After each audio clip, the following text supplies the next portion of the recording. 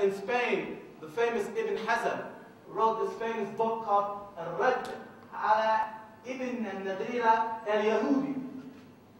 Refutation of Ibn Naghira, the Jew. I read parts of his book as a graduate student. And he says right there in the book, and by the way, Ibn Hazm is, uh, um, how can I put this? Uh, uh, he's a brother with attitude. Put it that way. Even in his classical Arabic, his attitude comes through. And he's raving and ranting and saying, you know, you know, you know, you better, you better fall down on your knees and thank God for Islamic law, because that's the only thing standing between my sword and your neck. That's what he says. Ibn Hazm says this. Does everybody get the point, point that I'm trying to make? In other words, if it were up to me based on pure prejudice, I would what? But as a Muslim, I can't. According to Islamic law, you are protected minority here. Okay? All right? So there's uh, Professor Lewis. All right? Uh, be careful of that Princeton crowd. all right. Uh, no, I shouldn't say that. There's some good buddies over there. Uh, anyway, but th th this does this does leave us with a question, though. In fact, uh, the, the, the, the, article that you read, uh, uh, Jihad in the Modern World, I have a confession to make. I was uh, first sort of inspired to, to, to write that article, uh, which was written very quickly, I have to admit. Um, not so long after 9 11. I was uh, riding in my car in Ann Arbor, Michigan, and I was listening to NPR. And of course, they were talking about, you know, 9 11, the whole nine yards. And uh, this woman called in to, to, to, to, to NPR, and she asked a very poignant, pungent question. She said, Well, I'm hearing all of these justifications for jihad and all of these apologies for jihad. I want to know why does it exist? Period. Does make sense? Why have it? Period. Why does a religion need an institutional, uh, an institution of organized violence? Why do they have it? Period. All right. And that was sort of the context, the major context, the main impetus uh, that sort of spawned the writing of, of this article. And what, uh, what we find is that, again, history tells far more of the story than uh, appears to the eye.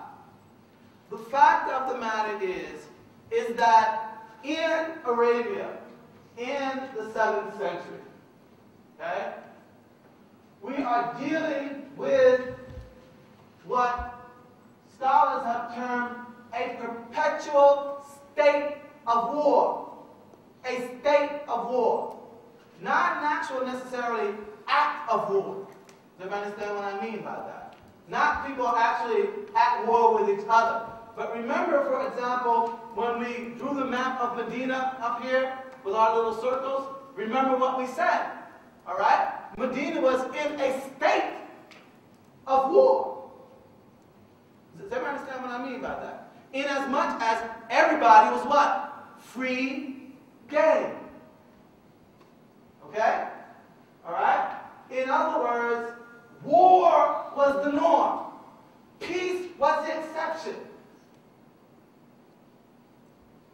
Remember, no United Nations, Amnesty International, none of this. All right? You were as secure as you were strong. Okay? Alright? And if another tribe was big enough to take you they would take you over. And this would be, you know, uh, Orlando Patterson up, uh, up at Harvard uh, talked about the medieval understanding of sovereign freedom. And sovereign freedom was simply this. if I was powerful, okay, people recognized my right to take, to subdue. That was sovereignal freedom. Okay? And this was a part of the medieval order. Okay? Alright? And people fought as a matter of survival. Okay? It would have been not only improbable, but grotesque for the prophet to try to put a movement on the field that did not come to terms with this overall state of war. Okay?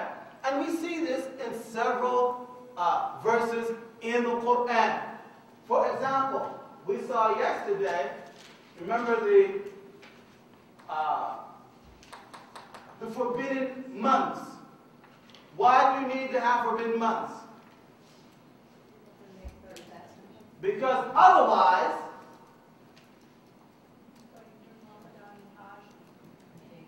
not even Ramadan. This was around the. Other than that, okay? Okay? It's a free-for-all. Okay? It's a free-for-all. The point being that Islam, the Quran, did not introduce violence, no organized violence.